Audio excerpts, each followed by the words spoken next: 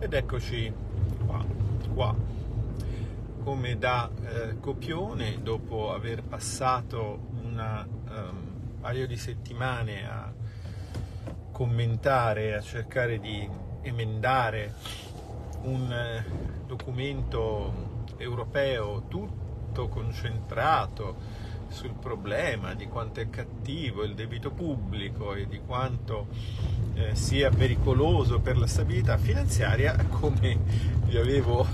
ampiamente preannunciato in tante dirette, in tanti scritti, ecco che ci ritroviamo di fronte al fallimento di una banca, anzi due, eh, piccola, anzi grande, perché diciamo 200, 200 miliardi non è esattamente una banca piccola, è vero che Lehman erano 600, ma insomma 200 non sono qualcosa di trascurabile, anche perché ci se ne è aggiunta un'altra nel frattempo. E quindi ecco che abbiamo immediatamente, in contemporanea, in perfetta sincronia con la decisione dell'illuminato governante europeo di proteggere noi stessi dai problemi che causerebbe il nostro debito pubblico, la prova che invece i problemi per la stabilità finanziaria sono creati dal debito privato generalmente degli altri, perché gli italiani sono abbastanza risparmiatori, abbastanza poco propensi a indebitarsi senza motivo, anche se forse lì si vorrebbe un po' più così, perché naturalmente eh, chi eh, si eh, indebita eh, alimenta un tipo di circuito economico-finanziario che, ha, che è portatore di, di, di, interessi e che guadagna da questa, da questa attività di finanza. Attività di finanza che naturalmente non, non va demonizzata, è molto importante, è un ponte fra il presente e il futuro, eh, perché ti permette di anticipare oggi delle spese che altrimenti dovresti attendere magari domani per fare, è un ponte fra il risparmio e l'investimento perché mette in contatto i risparmi dei risparmiatori con la capacità di fare impresa degli imprenditori e quindi con, loro, con il loro desiderio di investire. Quindi la finanza non è cattiva e i banchieri non sono dei bankster come li chiamava un nostro caro amico, non lo sono necessariamente. Resta il fatto però che noi abbiamo creato un insieme di istituzioni che genera delle distorsioni sistematiche del mercato e queste distorsioni inevitabilmente si traducono in un incidente, in una crisi, eh, chiedono il conto. La distorsione più significativa creata Qui in Europa in particolare lo si può dire dalla, dalla, moneta unica perché è stato anche rivendicato che la moneta unica avesse questo significato, era quella di avere dei tassi di interesse troppo bassi. Ci siamo detti eh, fin da subito che i tassi di interesse bassi ehm, raccontati come vantaggio della moneta unica in realtà sono anche uno svantaggio Intanto perché venivano raccontati come vantaggio? Venivano raccontati come vantaggio perché chi ne parlava viveva nel, nel mindset, d'accordo, nella, nella, nella gabbia mentale secondo cui l'unico debito è quello pubblico. Vabbè, chi mi segue da qualche anno sa bene quanto sia diciamo sbagliato questo mindset. Certo che il debito pubblico può potenzialmente essere un problema, ci sono anche stati che sono falliti, sono andati in bancarotta. Per esempio in Europa la Germania tre volte, l'Italia mai, ma questo è un dettaglio che la gente dimentica. E, ehm, può esserlo, ma, ma, il punto fondamentale è che vanno molto più spesso in bancarotta le banche e allora se il tasso di interesse basso è positivo per lo Stato indebitato perché così deve dedicare meno risorse a pagare gli interessi sul suo debito e ha più risorse per dare servizi ai cittadini. Quindi, in altre parole, se il tasso di interesse basso visto nell'ottica del debito pubblico è un dato positivo perché riduce il trasferimento di risorse dall'economia reale alla rendita finanziaria, mettiamola così. Il tasso di interesse basso, visto nell'ottica del debito privato, viceversa, è abbastanza deleterio per due motivi. Il primo è che riduce i margini eh, delle banche. Le banche ovviamente quando prendono quando, soldi eh, dai, eh, quando, quando, prestano soldi, voglio dire, hanno, hanno, un margine che deriva da quanto è alto il tasso di interesse, ma soprattutto un tasso di interesse basso, oltre a questa fastidiosa proprietà di schiacciare lo spread, il differenziale fra tassi attivi e passivi per le banche, ha un'altra fastidiosissima proprietà, che è quella di indurre le persone a indebitarsi, perché se il denaro costa troppo poco, come vi ho ripetuto tantissime volte, se ne prende troppo. Quindi da un lato le banche hanno un incentivo a prestare di più perché siccome guadagnano poco sul prestito devono fare volumi importanti, dall'altra il debitore di turno, che sia una famiglia o che sia un'impresa, ha interesse a eh, indebitarsi di più semplicemente perché il tasso di interesse è basso e quindi può valere la pena di fare le rate per, le, per, per, per, la macchina nuova, contrarre il mutuo per acquistare un, un appartamento. Ehm, indebitarsi per costruire un nuovo capannone, qualsiasi cosa, tanto il denaro te lo regalano. Questa è stata la prima fase, la fase precedente alla grande crisi dell'Eurozona. È stata una fase che ha funzionato fondamentalmente così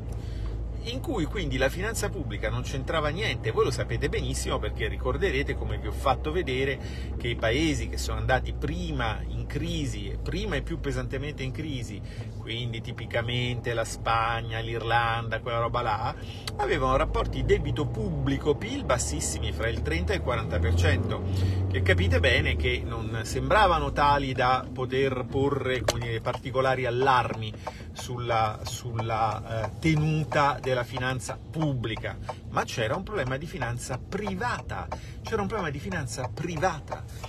e questo è un, eh, un, tema che si ripropone, perché adesso vedete, veniamo da un periodo di tassi di interesse bassissimi, un pochino in tutto il mondo, ehm, le ragioni di, questa, di, questi livelli estremamente depressi dei tassi di interesse sono un po' diverse da regione a regione mh, del, del mondo, del globo, però insomma c'è stata questa tendenza generale di politiche monetarie quindi estremamente espansive, il denaro costava poco, il denaro costava troppo poco. Quando dico che il denaro costava troppo poco, dico che il tasso di interesse era troppo basso, cioè non era un tasso di interesse di equilibrio e in economia quando non si è in una situazione di equilibrio si generano appunto degli squilibri, per esempio eccessi di indebitamento. In generale, anche visto sotto il profilo della finanza pubblica, un tasso di interesse basso costituisce comunque anche in quel contesto un incentivo all'indebitamento, per quanto questo possa sembrare paradossale. Ma è un dato di fatto, se una cosa costa poco ne prendi di più. Veniamo da un periodo così ed è normale, ve l'ho detto decine di volte, che prima o poi eh, qualcosa sarebbe andato storto, con o senza rialzo dei tassi di interesse. È chiaro che il rialzo dei tassi di interesse ovviamente produce, eh, diciamo, va a pungere no? con un ago e far scoppiare queste bolle di debito che si creano. Perché? Ma perché fatalmente eh, se eh, i, diciamo, i, prestiti sono stati contratti a un tasso variabile, è, è facile che chi deve eh, corrispondere la rata di interessi si trovi a, non avere i soldi per farlo perché, perché la rata del mutuo gli, gli, gli raddoppia. No? Eh, diciamo i, i lettori del mio blog, gli ascoltatori di queste dirette si dividono in due quelli che hanno fatto un tasso fisso quando gli spiegavo che i tassi sarebbero cresciuti e quelli che hanno tenuto il tasso variabile. Penso che i primi siano più contenti dei secondi, ma quest- queste dirette sono semplicemente un ragionamento sulla macroeconomia, non sono ovviamente un invito all'investimento, è una riflessione. Se tu hai un tasso di inflazione che è alto, se hai la ragionevole certezza che noi abbiamo avuto da subito, che sia persistente, se quindi pensi che non sarà accettabile avere per lungo tempo un tasso di interesse inferiore al tasso di inflazione, perché questo significa trasferire ricchezza dalla rendita finanziaria all'economia reale e oggi comanda in qualche modo la rendita finanziaria, ti aspetti che i tassi di interesse saliranno e quindi se hai un buon mutuo con un tasso fisso non altissimo, magari te lo conservi, ma sono i conti che ognuno fa per sé, non è questo il punto, non stiamo parlando diciamo, di, di, di, né di avere sfere di cristallo né di fare consulenza finanziaria, stiamo parlando di come sorgono i problemi. Ecco, i problemi sorgono così e sono problemi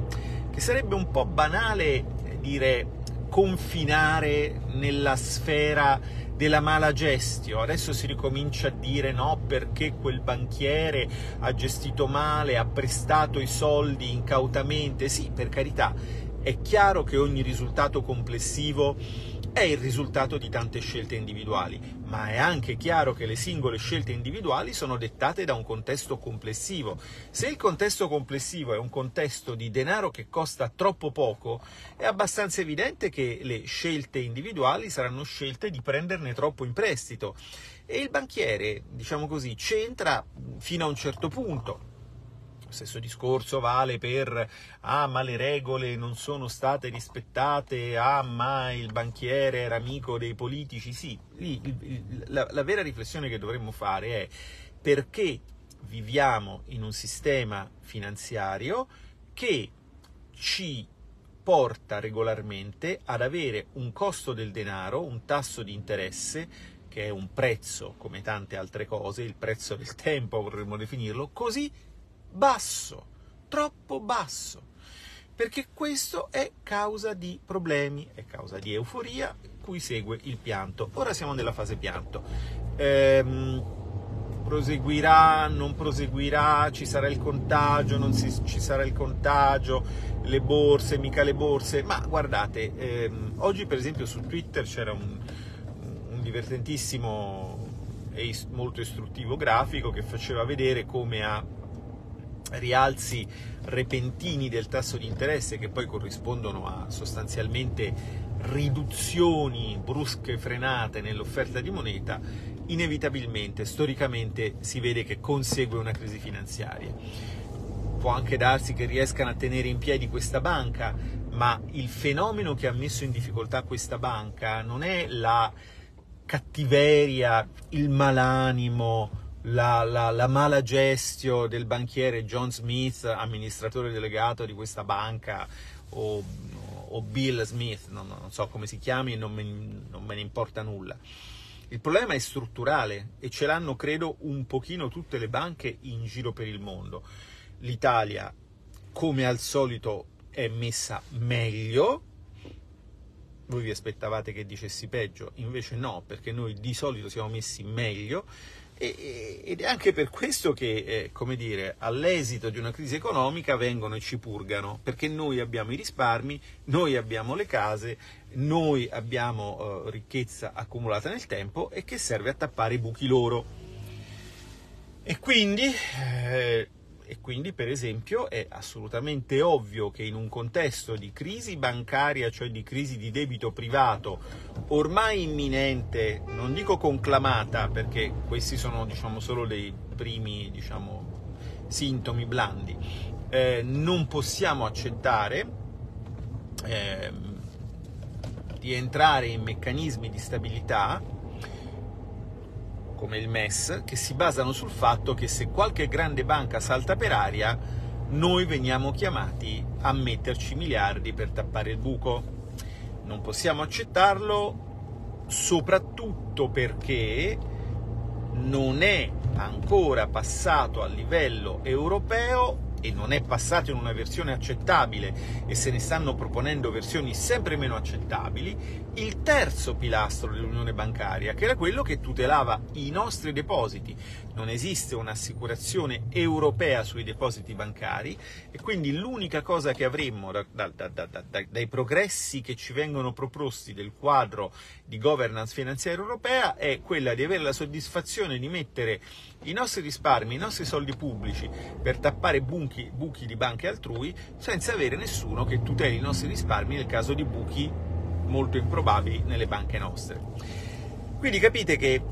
eh, non, non, non, non, c'è tanto da, da, da, girarci intorno. Il problema è questo, infatti vedete che ora che è saltata per aria la banca della Silicon Valley, eh, inevitabilmente, eh, ma dovete fare presto con il MES perché, perché, eh, perché, è ovvio, perché fa comodo loro. È esattamente come nel caso della, della, della fantomatica eh, Casa Green che PD e 5 Stelle sono tutti lieti di aver votato al nord fa freddo, al sud fa caldo, al sud ci sono i terremoti, al nord non ci sono i terremoti. Quindi la morale della favola qual è? Che si fa una direttiva per costringere tutti quanti, al sud e al nord, ad adeguare energeticamente le proprie case, quando, diciamo così, per carità, mm, è chiaro che non sprecare è sempre un'ottima cosa, è chiaro che adeguare, ma è anche chiaro che proteggersi dal freddo è un'esigenza che ha chi sta al freddo mentre proteggersi dai terremoti è un'esigenza che abbiamo noi. Allora, immaginatevi se noi avessimo un peso politico tale da andare in Unione Europea e dire, beh, sapete che c'è, che adesso voi dovete eh, tutelarvi dal rischio sismico. Dice, ma da noi i terremoti non ci sono. Sì, ma non fa niente, lo dovete fare lo stesso eh, entro dieci anni perché vogliamo case più sicure per le generazioni future. Incidentalmente magari la tecnologia è nostra e quindi la comprate da noi. No? Sarebbe fantastico, giusto? Per la nostra economia sarebbe sicuramente un grande vantaggio. Purtroppo non funziona così. Allora, eh, non funziona ancora così. Diciamo che siamo passati dal sbattere i tacchi e, il signor sì del PD a un atteggiamento più interlocutorio e dialogante. Certo però che resta il fatto che il contesto nel quale ci troviamo ad operare è un contesto fortemente squilibrato, fortemente appunto asimmetrico. E di questo parleremo, ne parleremo a, a Roma il 15 aprile, cioè fra un mese e, e un giorno, eh, nel convegno eh, sui dieci anni di asimmetrie europee a un anno dal voto in, in Europa che, che è organizzato dall'associazione Asimmetrie sul cui sito e sui cui, sui cui social potrete, potrete, potrete prenotarvi. Eh, la prenotazione è richiesta, è un convegno che dura tutta una giornata, un'intera giornata di studi in cui eh, riuniremo tanti studiosi e tanti, tanti personaggi a voi cari del dibattito per riflettere sullo stato, sullo stato dell'arte. Vi lascio e grazie per avermi fatto compagnia.